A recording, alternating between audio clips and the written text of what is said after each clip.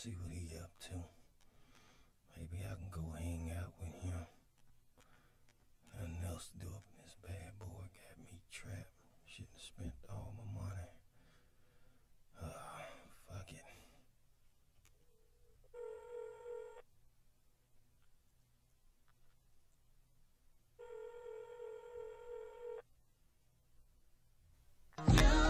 Hello?